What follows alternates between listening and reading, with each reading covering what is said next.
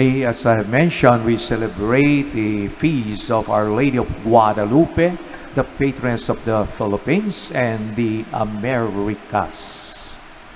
It was in 1531, just 10 years after Magellan came to our islands, that our Blessed Mother appeared in Tepeyac, that's a hill in Mexico, to a man, Juan Diego, an Aztec, a native Indian, simple person, unlettered, nobody.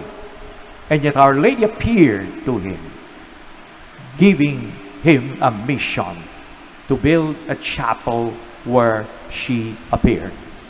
And so this guy, Juan Diego, goes to the bishop the place to relay the request of our Blessed Mother.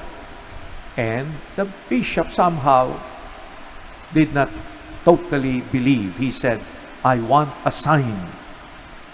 So, uh, you know, she was appearing, our Blessed Mother, from December 9 to 12 in 1531 in Tepeyac.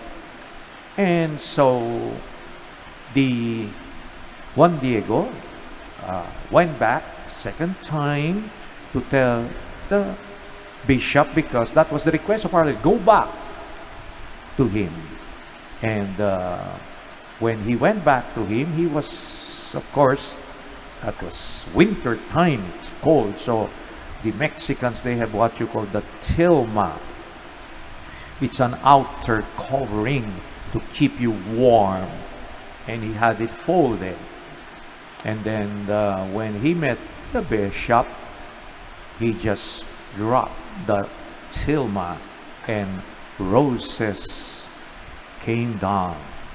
And uh, inside, of course, was the image of our Blessed Mother inside the tilma.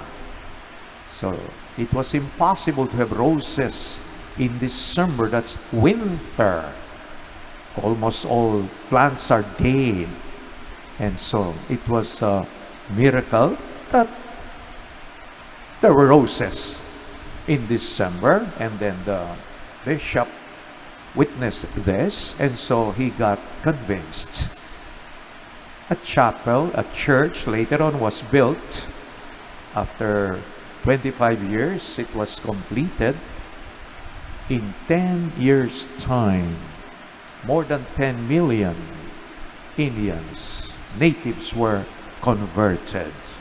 And then from then on, thousands, hundreds of thousands pilgrims would come every year. So what can we draw from this event? First, God will use simple people, the humble people like Mary, to be channels of His love, channels of His life.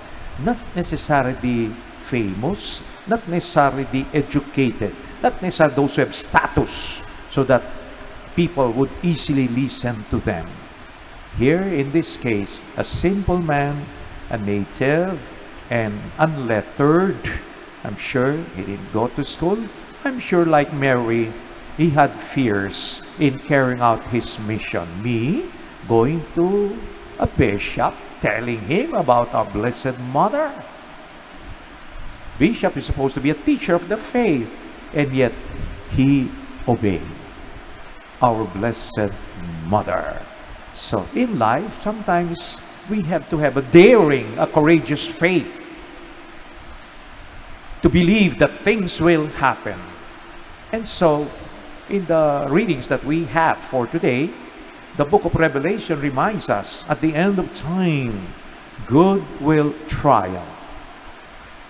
We cry because of what's happening in the world. What will Christmas be for people in Palestine, for people in Gaza? You see the images of Jesus in the rubbles. They get children from the rubbles. How can we find Christmas? And yet, the Lord reminds us that we see Him in people. We see Him in simple events, even in painful events.